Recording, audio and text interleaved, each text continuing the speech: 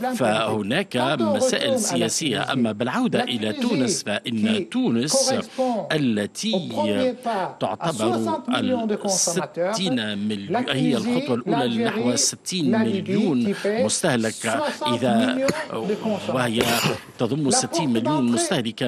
إذا ما جمعنا المغرب والجزائر وليبيا وهي بوابة إفريقيا والبوابة الأولى والبلد الأول الذي يمكننا من النفاذ إلى إفريقيا وإفريقيا يجب وتركيا يجب أن تدعم تونس لتنجز أن تنجز القاعدة اللوجستية وبوابة الدخول نحو إفريقيا.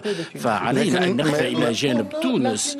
بالنسبة لنا تونس ليست سوقا بل تونس هي شريك استراتيجي لكن ما يبحثه